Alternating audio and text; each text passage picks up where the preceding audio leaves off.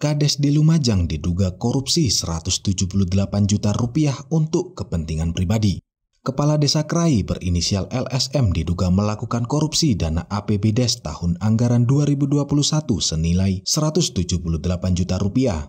Kini sang kades telah ditahan oleh Kejaksaan Negeri Lumajang. Secara modus operandi, tersangka LSM mengelola sendiri pengelolaan keuangan desa Krai dengan meminta uang yang bersumber dari APBDes Krai tahun 2021. Tersangka diduga membuat perencanaan fiktif pembangunan desanya untuk mengelabuhi tindakan korupsi yang ia lakukan. Akibat perbuatannya, tersangka dijerat dengan pasal 2 dan 3 Undang-Undang Nomor 31 Tahun 1999 tentang tindak pidana korupsi yang telah diubah menjadi Undang-Undang Nomor 20 Tahun 2021 tentang pemberantasan tindak korupsi. Kegiatan yaitu penyerahan tersangka dan barang bukti dari penyidik Polda Jatim ke penuntut umum Kejaksaan Negeri Lumajang atas nama LSM selaku Kepala Desa Krai Kecamatan Yesowilangun yaitu sehubungan dengan perkara penyalahgunaan pengelolaan keuangan negara nama ulangi penyalahgunaan pengelolaan keuangan desa di Desa Krai Kecamatan Yosowilangun Kabupaten Lumajang tahun anggaran 2000-2001 sehingga merugikan keuangan negara sebesar 178 juta 383.747 rupiah, 62 sen.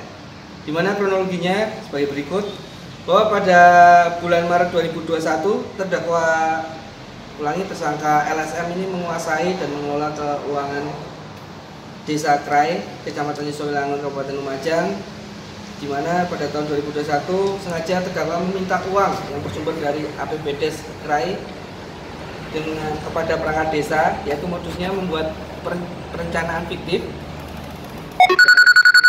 Yang di mana uang-uang itu juga harusnya diserahkan kepada sendiri sama kepala desa dan setelah cair uang tersebut digunakan untuk kepentingan sendiri.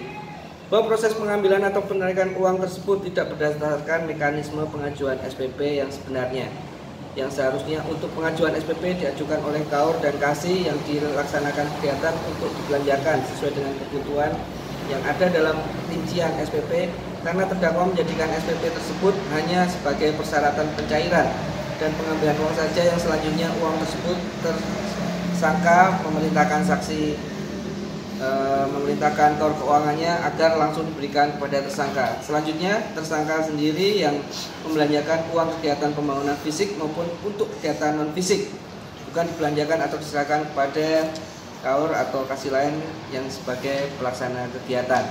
Bahwa perbuatan tersangka SHM ini LSM ya? LSM, LSM telah memperkaya diri sendiri atau orang lain yang merugikan keuangan negara atau perekonomian negara sebagaimana laporan hasil penghitungan kerugian keuangan negara atas dugaan tindak pidana korupsi penyalahgunaan pengelolaan keuangan Desa Krai, Kecamatan Yesowinangun, Kabupaten Lumajang tahun anggaran 2021 sehingga mengakibatkan keuangan kerugian keuangan negara sebesar 178 juta 383.747,62 rupiah.